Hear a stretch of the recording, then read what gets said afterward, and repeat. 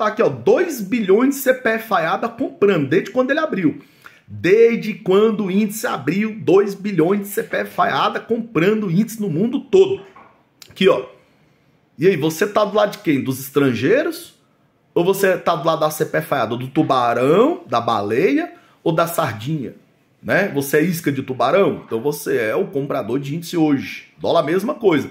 O estrangeiro comprando dólar desde que abriu, a CPFaiada vendendo. Dólar saldo de compra, índice saldo de venda. E tem gente vendendo dólar desse cedo, tem gente comprando índice desse cedo. Então, é, eu não, não, vou mais contra os caras. Eu não vou ir contra os caras, é o alto ego, é o seu ego dizendo, né, vai, vai, vai subir, vai dar certo, pode ir lá, ah, tu é o cara da conta, segura aí que vai subir. Pode subir, mano, pode subir mil pontos aí, pode fazer aquele movimento em V dele, aquele movimento em V dele subiu o dia todo, ele faz isso, né? Mas por agora os caras estão amassando, os caras querem para baixo, 90 mil contratos de venda. Já mostrei a planilha quântica, vou mostrar o saldo da batida.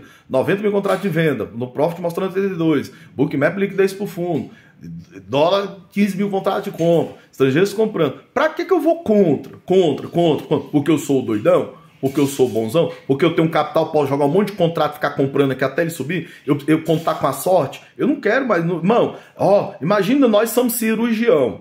A gente pegou e fez uma cirurgia. Eu virar lá na sala do cafezinho. Caramba, que sorte que deu eu hoje essa cirurgia. Que sorte que eu consegui ligar as veias do coração daquela mulher. Não tem sorte no day trade, não, irmão. Imagina nós somos todos advogados e eu falar que sorte que eu consegui ganhar essa causa. Não, é provas, é fatos, é dados e é igual o índice, tá aí, ó. Comprado no dólar, vendido no índice, tudo nosso. Sala operacional stop curto ou longo, operacional completo vem para ti ninguém. Pronto, acabou.